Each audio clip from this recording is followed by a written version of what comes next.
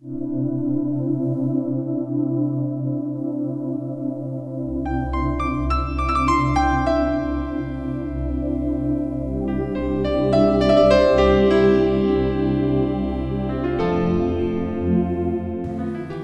to my studio. My name is April Sproule, and my business is Sproule Studios.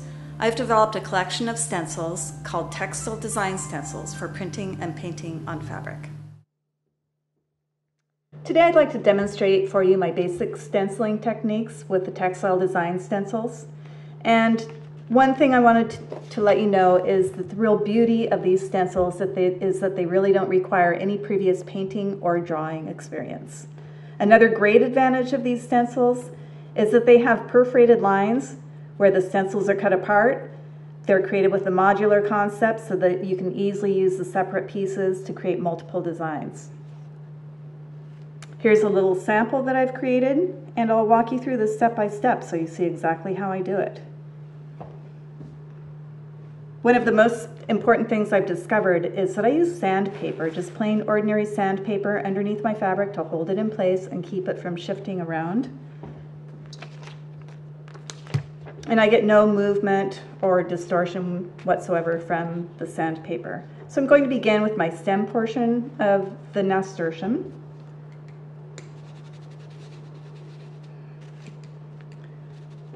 I'm going to dip my brush in the paint rub it out so I only have a small amount of paint on the brush and then begin gently, gently rubbing from the outside and working in towards the center of the shape.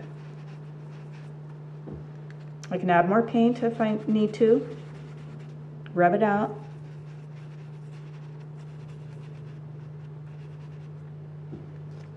can lift up a corner, check, see if you have enough paint, and then move right on to your next step. So next we're going to do the petals of the flower.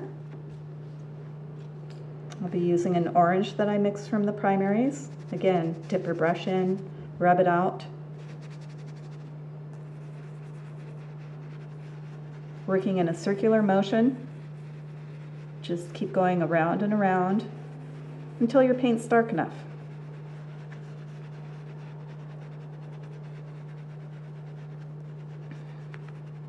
Check it before you pull it all the way off.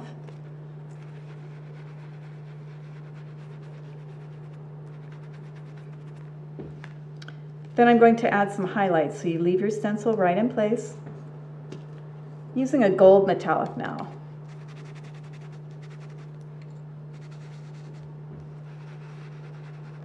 So I'm working in the center of those shapes. And creating a very mottled effect.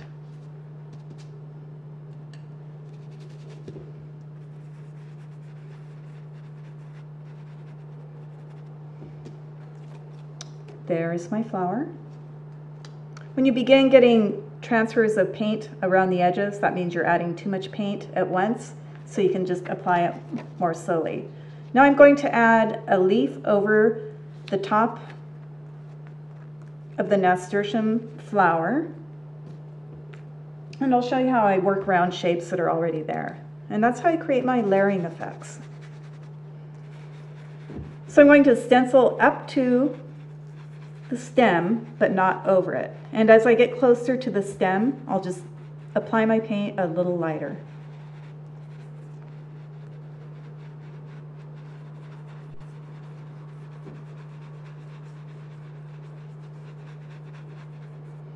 Now again, I can check. I can just pull up my corner, see if it's dark enough. Need a little bit more in the center. Just for a little more definition. And there you have it.